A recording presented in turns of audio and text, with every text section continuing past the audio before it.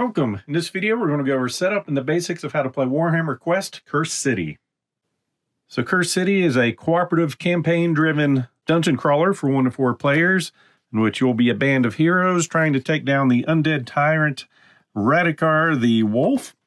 Um, so timestamps would be down below. What I'm basically going to do is go over all the components we have, go through the basic setup to get the game started, go through your basic actions, and then do a rundown of a turn sequence. So, of course, we've got our main rule book that's going to give us the majority of everything we need in the game. There's a quest book that's going to go over some of the history, story, and then just setting up for the different types of quests we'll be going through. And of course, the minis that came in the game were not put together, so there's a guide letting you show how to put those together and recommendations for painting and some more scrolls in case you go into the Age of Sigmar world and you want to use these miniatures in your other games. But as it relates to this gameplay, we've got lots of miniatures that I've already put together, most of them, and painted some.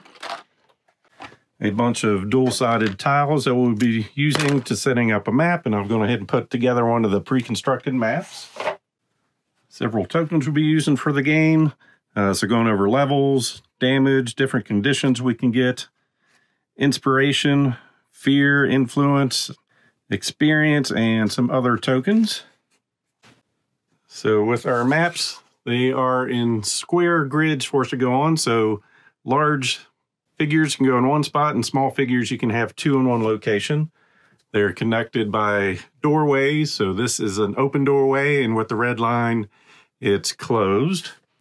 And the way those work if they're at a spot adjoining two, these two spaces are adjacent to those two. But if it's just a single going across, like with this one, just these two spaces are adjacent. We have our sky bustle board and then a token for tracking the daylight. As turns progress, this go around, and when it gets to the nighttime space, uh, our creatures are going to be more powerful. And then this inner circle here is for tracking objectives. And we have two areas here for placing our destiny dice when we roll them. And speaking of dice, plenty of those. So lots of D6s and specialty and a destiny die. So this is a D12, the destiny dice. Then, of course, we have our attack dice. So we've got D6s. Uh, you've got one side with a success, a critical success, and then all the other four on the D6 are blanks. Then we have D8s. It's going to have four blanks on that, then two with a success and two with a crit success. Then we have a D12 here, which is going to have, I think, one, two, three, four or five misses and then a whole lot of other hits. So this is a die we definitely want to be rolling. Then all the white dice are going to be activation dice. Most characters are going to be rolling four of those, and depending on how they spend their dice, they can do different actions. Then our destiny dice will be rolled each turn to give our party some additional actions. So we'll take a look at our characters. So there are four different classes of characters here. So we've got two blades, then two lore masters, two executioners, and two stalwart characters. On one side is showing their path to glory. Throughout the game, they can get inspiration to flip over to their better side. So just taking a quick look, we have four spots for our action dice we can put there.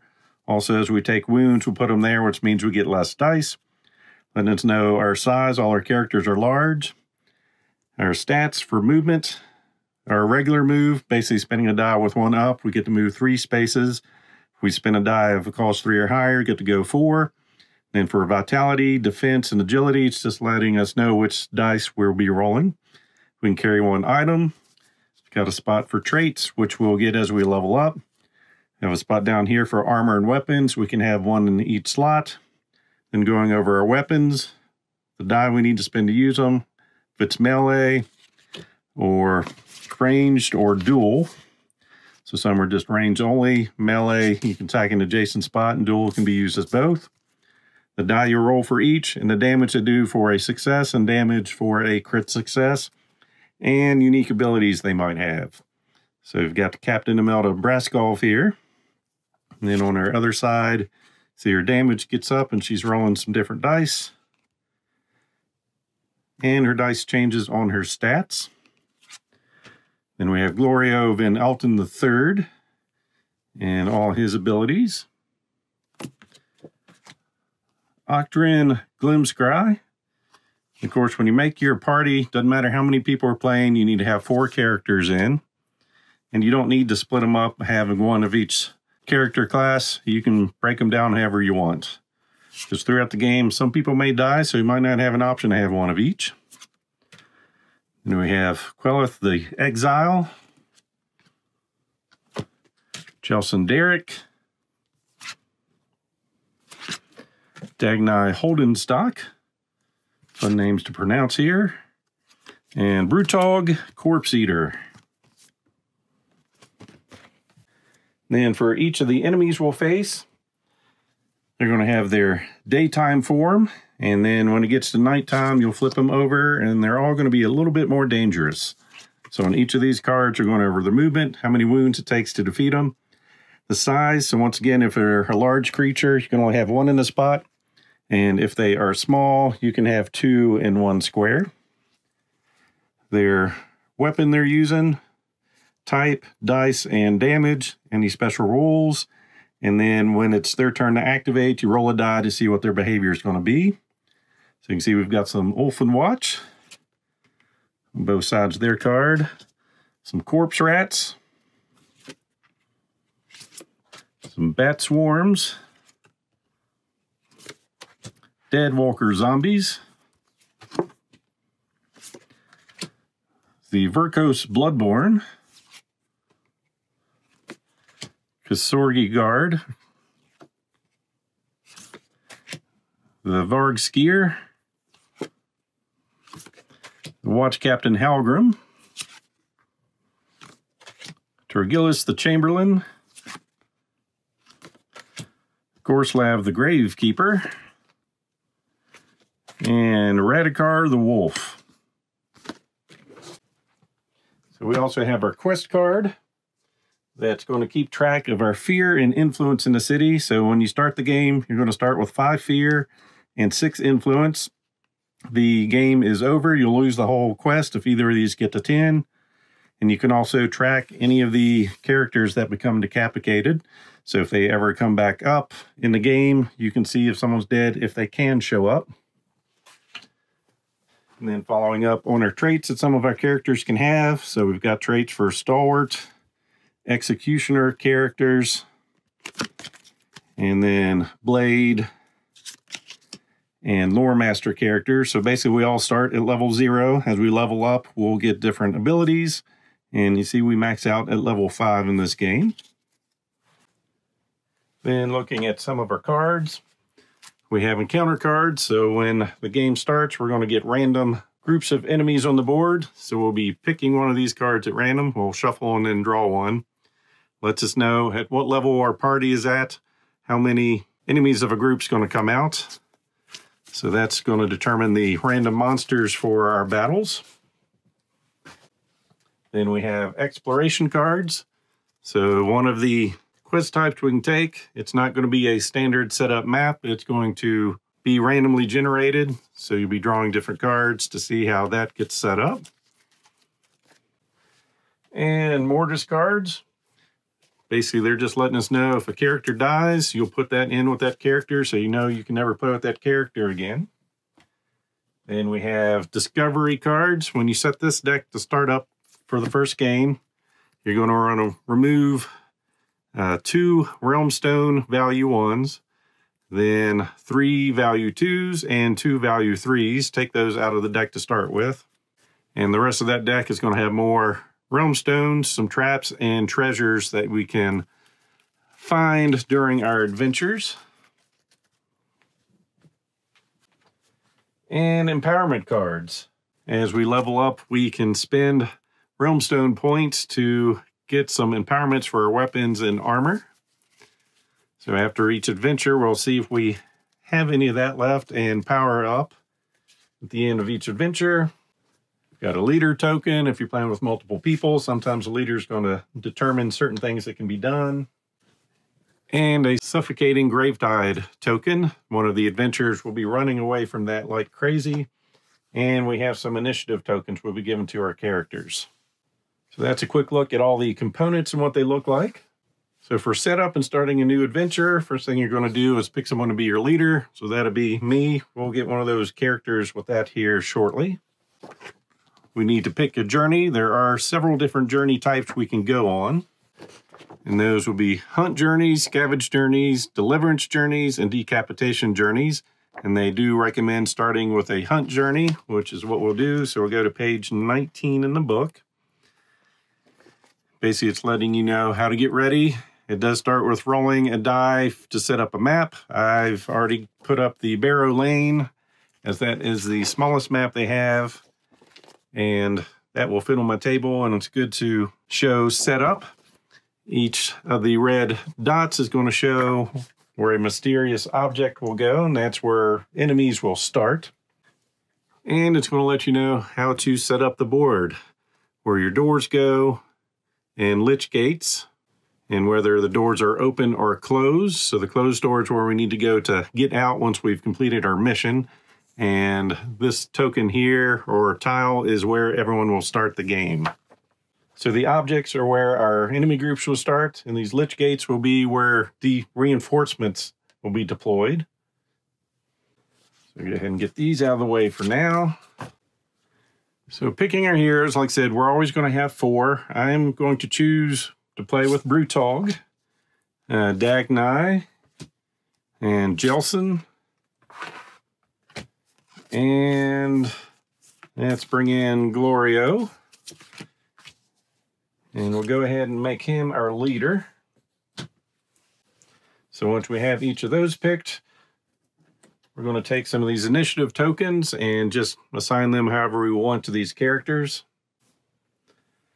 basically that's just letting us know what initiative card is going to go with what hero. So with the initiative cards, they're they're smaller ones like this with that back. Uh, so they don't have their faces of the characters. It's just going to go with the symbol. So when this initiative comes up, that's letting us know we've chosen Jelsen to go with that symbol. So each of these goes with one of our heroes. And then these are going to be for the monsters and they'll let us know the monsters assigned to our combat track up here. Monster one, two, three, and four. So here we've got monster four, three, two, and one. So that's how initiative will be set. So basically these will be shuffled up. And at the beginning of every round,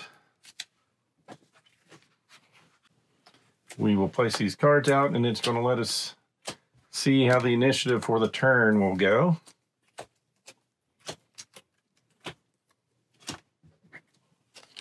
Got our sky vessel board set up with our trackers on both spots. Set up request card, like I said, five with fear, six of influence. This is something that probably doesn't have to be on screen for the entire game. So we'll have that set to the side, but we know what those are. I'm going to build the discovery deck, taking out the cards I showed you before. Basically, they'll just be shuffled. And whenever we uh, do a search action, we'll get one of these at random. And we'll take the encounter cards and give them a shuffle. And since we had three red dots on the map for setup, we placed out those three mysterious um, objects. We're going to get three monsters coming out. So put those in one, two, three. First, we're going to get two Deadwalker zombies. And they will activate with the one.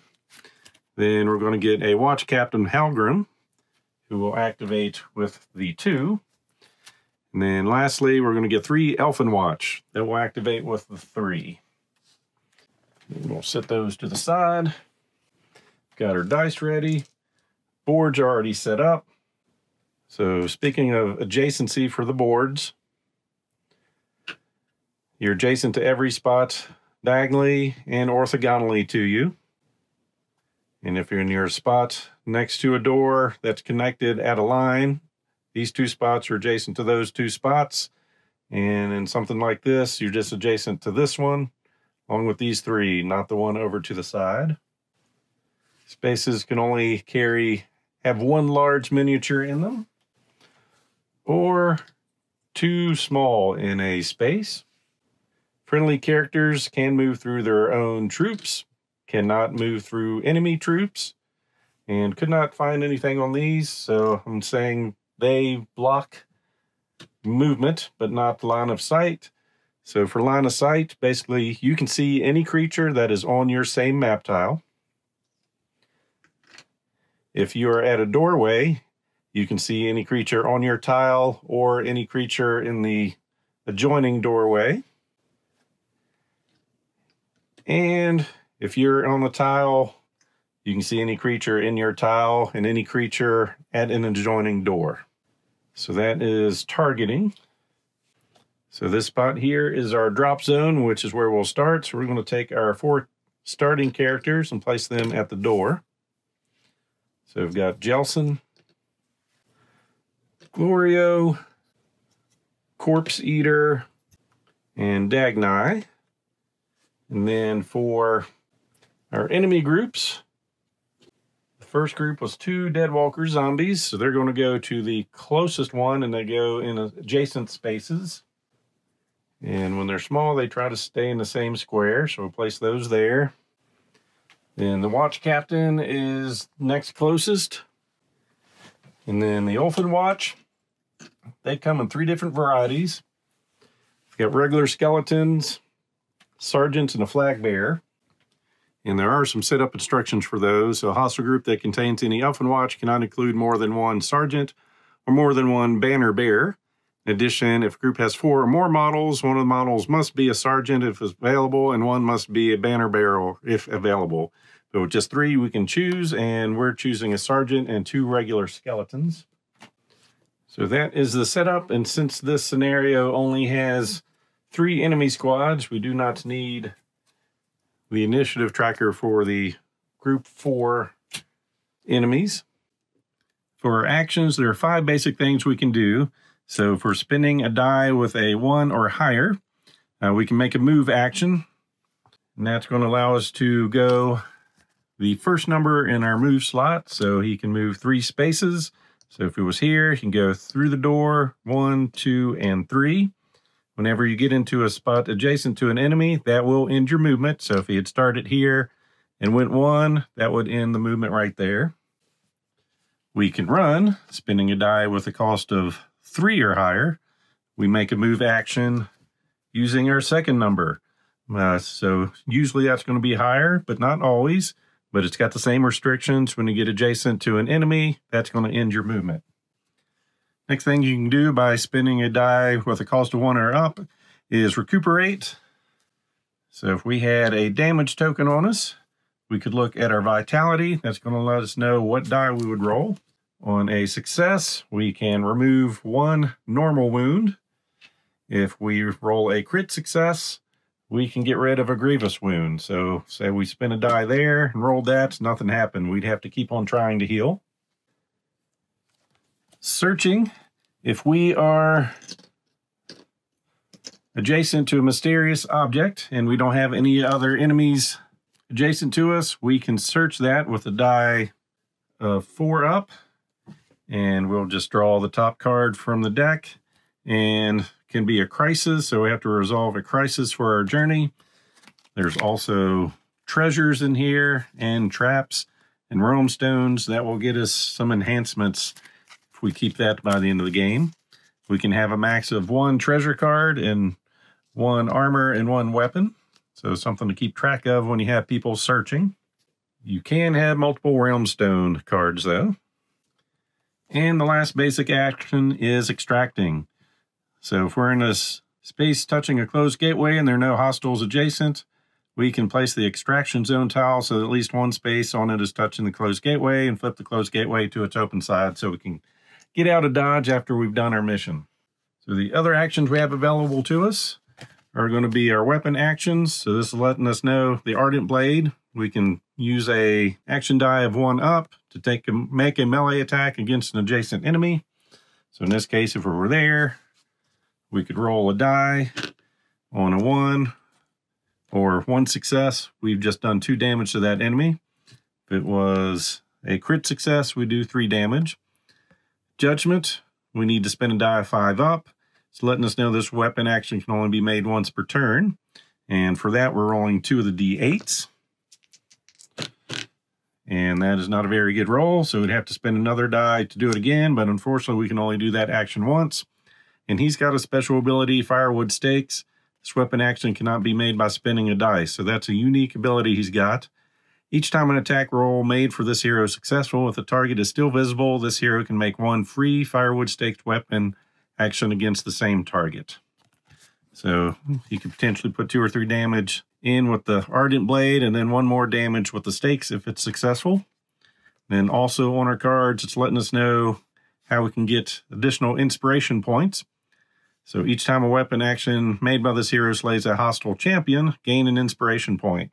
So we can use inspiration points to, once we get three, we can flip over to our better side. Some other things we can do. Also with three points, we can do a search action when we're not next to a mysterious object. We can spend two, so we can do a gambit without spending activation dice, which we'll go over what a gambit is here in a little bit. Or we can pitch one to re-roll one of our action dice from a roll made from us. So we'll just set up for a hypothetical turn here. We're say we're there.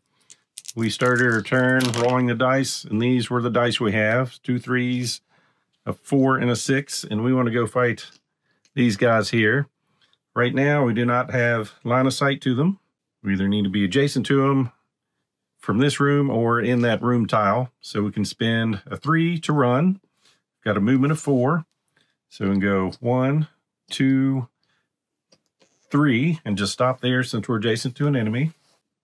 So if we're adjacent to an enemies, we can't do ranged attacks. We can only do melee and duel.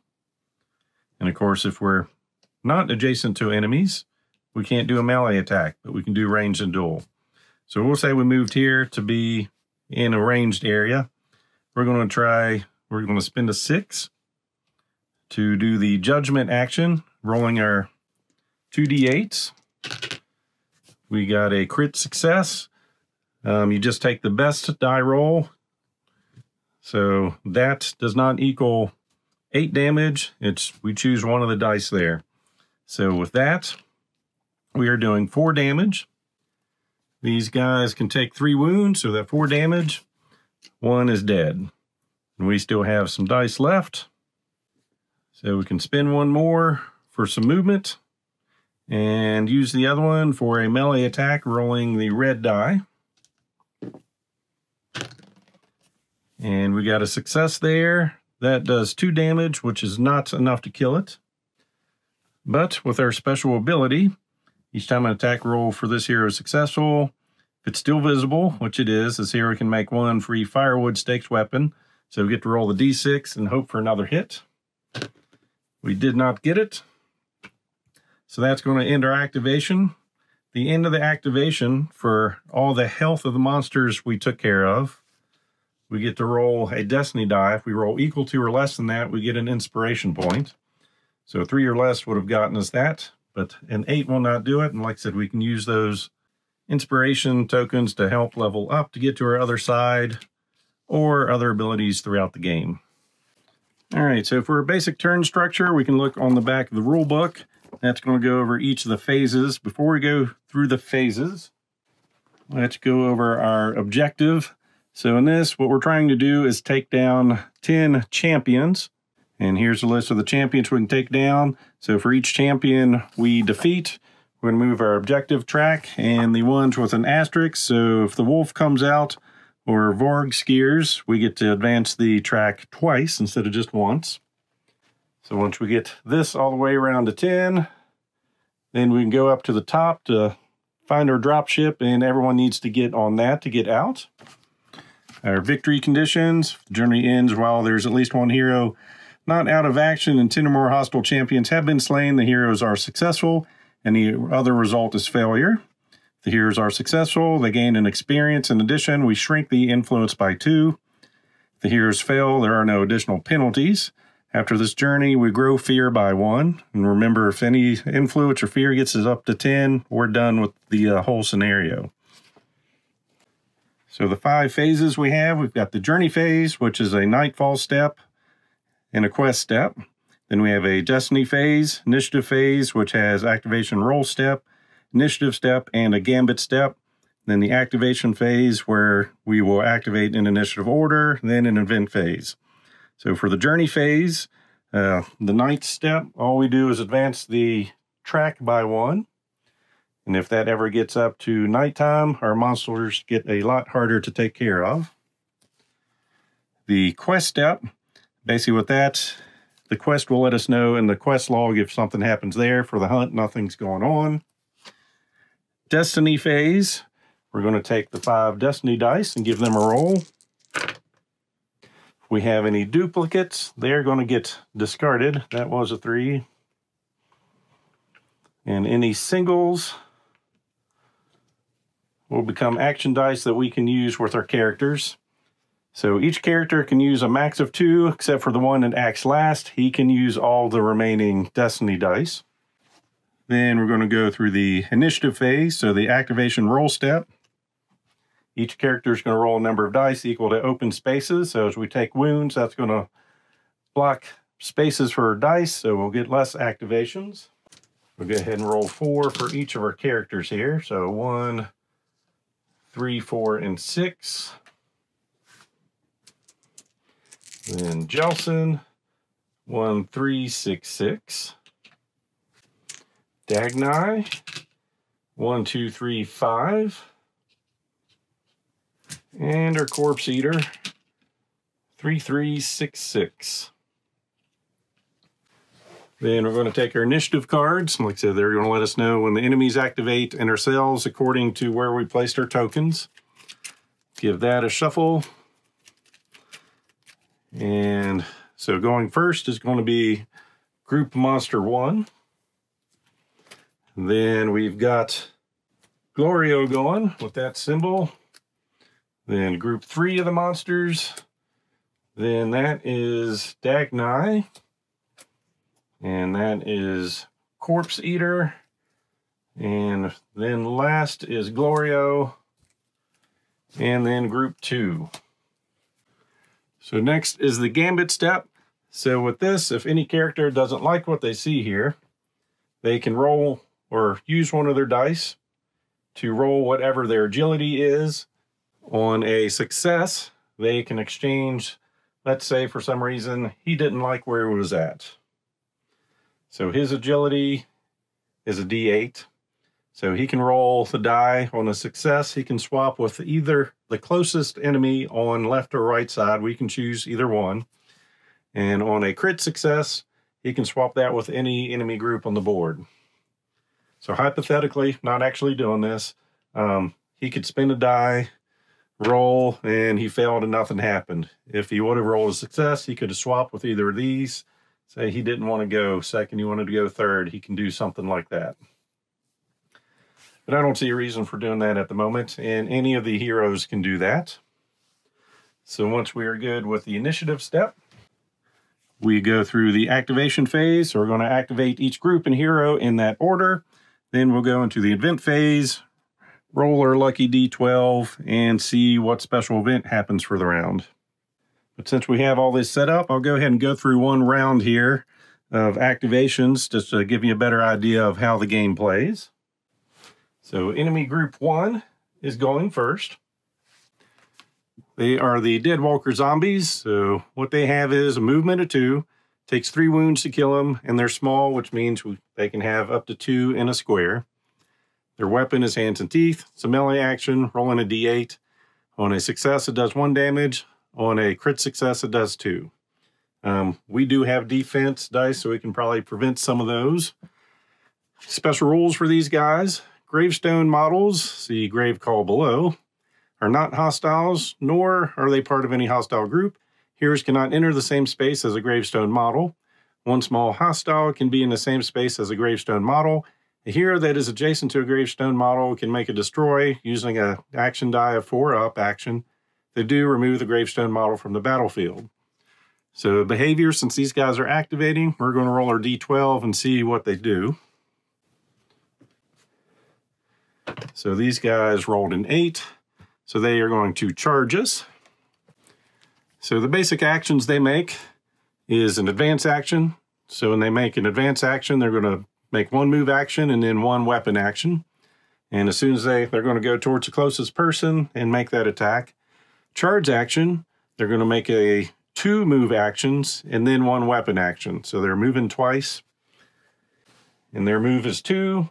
So one, two, one, two, and no one to attack, and that one moves out. So that was lucky for us. And of course, neither of these are champions. So next up, we have Jelsen. He's back here. So the first thing he's doing is make a move. And uh, using spinning a die of one up, he can move three spaces. If it's a three or up, he can move four spaces. So that's a run. So he's spinning one. He's got a movement of three. So one, two, and three. And then he's going to make a ranged attack using judgment. So I need to spin a die with a five up. So we've got a six here. We'll spin that. Um, once again, his actions with that is this weapon action can only be made once per turn. It is range, so we can't attack something adjacent to us. We're rolling 2d8s. On a success, we get 2 damage. On a crit success, 4 damage. And when we do roll our dice, it's not a combination of both. It's we pick the one die we likes the most. So if we got two crit successes, that's still just 4 damage, not 8. So he's going to target an enemy in his tile. And we got two crit successes. We'll use that one. So that's four damage. These guys only have three health, so that's one done. And he can't use that weapon again. So then he's going to spend a three, one, two to move adjacent to it. And then use the six to make a melee attack with his blade. Melee, getting to roll the red die. And crit success, another dead enemy. So at the end of her turn, we get a chance to go for inspiration. So we take the health value of the creatures we destroyed. So this is six health right there. And we roll our d12. So anything equal to six or less, we will get an inspiration. And we got a six. So he's one third of the way to flipping his card over. So now group three is going to activate, which is those guys up there. And the one without the helmet is what I'm calling the champion. So reading these guys, movement of three, takes two wounds to defeat, and they're small, so they can be have two in the same spot. They've got a rusted weapon that's melee, rolling two d6s.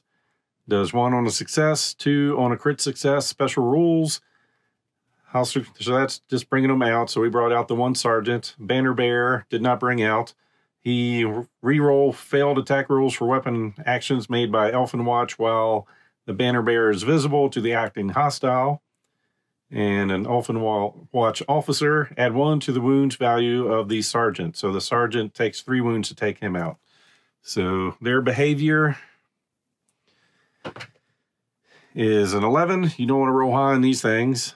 So Danse Macabre, each acting hostile makes a move action, then makes a charge action. So there, that guy's in trouble. Well, the only thing he's got going for him, only two of them are going to be able to attack him because he's at that doorway. So move, one, two, three, charge, one, two, three. Still has another move action, but he's where he needs to be, so he's going to make an attack action. Rolling 2d6s. That's going to do one damage. And his defense is a D8. So we get to roll that. On a success, we block one. On a crit success, we block three. Uh, we didn't block any. So he is going to take a damage. And then one, two, three. One, two, three. And then another movement and an attack. Two blanks, we're good with that. And then this guy can't get in that space to attack.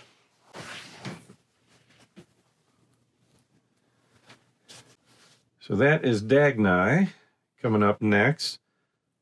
So the bad thing here is he's blocking our space to get in there. We do have a ranged weapon. So our first action is we're going to move. One, two, three. And we can target anything in this spot or in a door of another spot. So we're going to use our harpoon gun. Need a four up die for that, so spending a five. Get to roll a red die. We're going after the sergeant. So taking a look here. Reel them in on that die. This weapon can only be made once per turn. If the attack roll is successful, you can pick an empty space within three spaces of the target that is near to this hero. Place the target in that space. So even if I can't kill him, I'm hoping I can hook him and pull him in next to us. Um, unique abilities. This ability can only be used once per turn. This hero is not adjacent to any hostile and is within five spaces of a visible mysterious object. can make a search action as if they were adjacent to the mysterious object. In Vault of Mercantile Endeavors, this hero can keep up to two treasure cards instead of one and Path to Glory. Each time this hero draws a treasure or realm stone card from the Discovery deck, gains two inspiration points. So we're taking a shot at the champion and we missed. So then we're going to get out of the way of the door, or I guess it doesn't matter. We'll move one, two, three. And enter activation. So at the end of our turn, if we don't spend all our dice, we reduce them down to by one. So if it was a one, we just take it off the uh, chart there. Uh, we can use this to react. So basically on an enemy's turn, after they've completed a move or an attack action, we can spin that die to make a weapon action. So that's going to allow me to make a melee attack if that champion comes up after us. So we're done with him. Now we're going to have Corpse Eater go. He's all about melee, so he can't help it all there. But I think he might go after the champion up there. So spin a three to run. Four spaces. One, two, three, four. Spin a three to run. One, two, three, four. Spinning a six. So we'll take a look at his actions now. So one up, melee with two d8s. Marrow Masher, need a 4-up. Unique abilities. We're going to do a tenderizing blow with a the 6 we just took. This action can only be made once per turn. This here makes a free attack up there, so that just means it's not an extra action. It's part of this main action. Reroll failed attack rolls. For that action, that weapon action has damage value of 3-5 for that attack. He also has a shoulder barge, 5 up. Can only be used once per turn. This here makes a free run action. Can move to hostiles without ending that action. For that action, they can move through hostiles, but must end the action in an empty space. Then pick one hostile that was moved through, roll a the d12, the red, roll successful, the hostile is stunned. Path to Glory, been there and ate that. Making an inspiration roll, double the wounds value of all hostile slain during this hero's activation. So he's rolling his red die against them. It's going to be a three for a success and five damage for a crit success, and we have one reroll. We'll take that for five damage. That guy has seven wounds. We'll just use a regular die for now. Then we're going to spend another six to do the Marrow Masher, so we can't can't do this awesome ability again, but we can keep doing that all day. So it's back down to a 2-4, and the 2 is going to be enough to kill it if we can roll better. All right, so he's used all his regular dice. We're going to spin some Destiny dice now. He's going to make another attack, so that's a 4 up, doing a Marrow Masher. And missing. Five up. Come on, dude. All right, so that does two damage, which is enough to take him down. And this is a champion. So we are one-tenth of the way done with our goal here.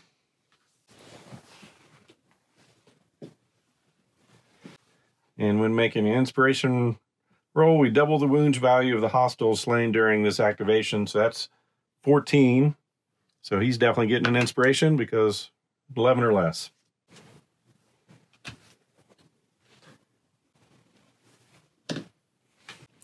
So he is done. And now our leader is going to go. Spinning a one for movement. One, two, three. Take a look at the rest of his stuff. So he's got a duel, can only be made once per turn. Uh, unique abilities, duelist, this action can be made once per turn. This hero makes one free weapon action and one free move or run action. In any order, the free weapon action is his smaller weapon action the attack roll success is treated as a crit, path to glory. Each time a weapon action made by this hero slays the last hostile in a hostile group, gain an inspiration point. So he's going to shoot at the non-champion in the hopes of at least killing something. So spinning a three, gets a red and a d6. Crit success defeated. Then he's going to go run, spinning a four. So one, two, wait, one, two, three, four. Spending a six to move again. Then we're going to spin this to search. And discovery crisis. Resolve one crisis for your journey from the quest book So looking for hunt journeys, hunt crisis table. Got a daytime chart and a night chart. We're still in daytime, so rolling a d12. Got a 7, so we're going to page 28, looking for entry 7. And we've got dangers unnoticed. Hero spots a group of citizens moving noisily under a dark bridge. They appear to be unaware of the sleeping dire bats directly overhead. The acting hero must choose to ignore the citizens approach them, or try to warn them from afar. If they choose to ignore the citizens, turn to entry 114. If choose to approach, turn to 134. They choose to warn them from afar, go to 83. So we're going to go, we're going to approach the citizens. So we have effectively left the map.